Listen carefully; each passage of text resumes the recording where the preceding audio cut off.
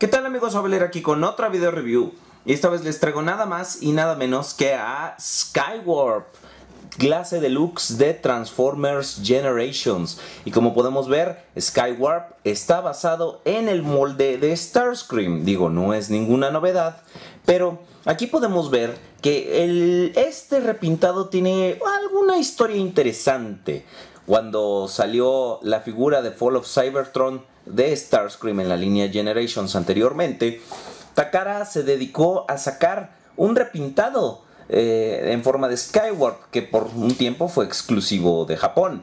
Después eh, Hasbro hizo lo propio, Hasbros hizo lo propio y sacó la versión de Thundercracker. Y ahora para terminar la Santísima Trinidad de Seekers y eh, hacer el círculo perfecto, vemos aquí a Skywarp, la versión Hasbro. Y no sé ustedes amigos, pero por lo poco que he visto de la versión de Takara, este me gusta más. Además de que es mucho más fácil eh, pues conseguirlo domésticamente. Aquí podemos ver que los colores complementan bastante bien al molde. Incluso prefiero este esquema de colores que la versión de Starscream. Pero últimamente sigue siendo el mismo molde y sigue teniendo las mismas fallas y los mismos aciertos que son inherentes al molde de Starscream. Aquí podemos ver que sus armas se separan de aquí en los postecitos y que igual se combinan. Igualito que las armas de Starscream y que si uno presiona estos engranitos giran muy muy bien. Ahora la transformación es exactamente igual a Starscream. No me voy a detener mucho en los detalles. Simplemente nosotros doblamos esta parte de la nariz del jet. Separamos de acá atrás.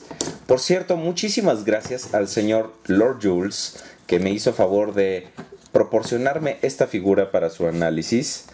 Ok, sacamos los pieses. Piésele a quien le piese.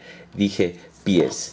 Ceces. Sacamos las manos de la parte de atrás del jet de esta forma.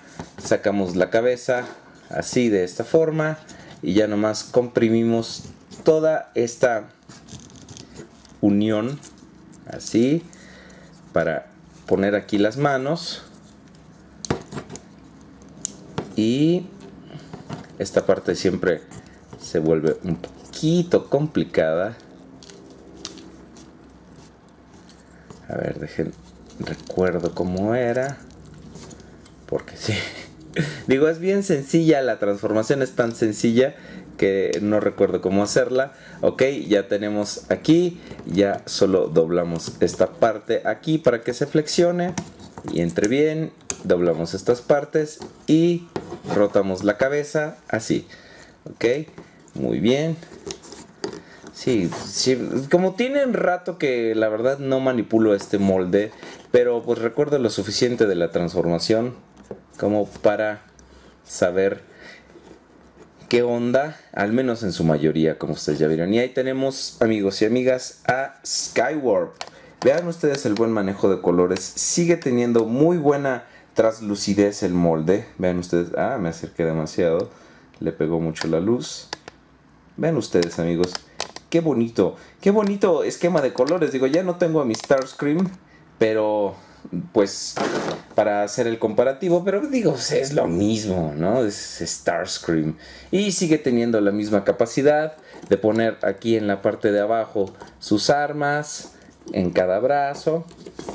O si ustedes lo prefieren, pueden ustedes combinarlo y hacer una Big Motherfucking Arma para que Skywarp la pueda tener con sus dos brazos. Esta es una muy muy buena figura. Digo, eh, carece de algunas cositas, pero si ustedes ya tienen a Starscream y a Thundercracker, pues no pueden evitar tener a este buen amigo Skywarp, que la verdad complementa bastante a los otros dos. Digo, no puede tenerse la Santísima Trinidad de Seekers sin uno de estos.